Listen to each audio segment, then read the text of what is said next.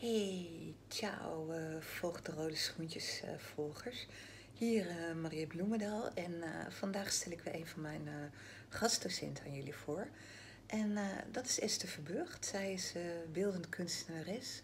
En in mei van dit jaar komt zij een creatieve week in Bolsena, Italië geven. aan het woord, Esther. Mijn naam is Esther Verburgt en ik heb mijn atelier in Ermelo. Hier geef ik de hele week teken- en schilderlessen, mozaïeken, beeldhouwen. Eigenlijk noem het maar op, het is er en het kan. Uh, nou, ik ben gevraagd om ook in Italië bij het Meerval Bolsena gezellig een workshop te verzorgen. Nou, een workshop, gewoon een week creatief aan de gang. En uh, nou, daar heb ik ontzettend veel plezier en zin in. Maar wat gaan we doen? Wat kan je doen? Wat ga ik meenemen in mijn auto? Nou, dat is mozaïeken. Heel bekend ook natuurlijk in Italië. Ik neem allerlei kleuren mee en het is de bedoeling op dit bord straks met een geweldig mooi werk naar huis te gaan.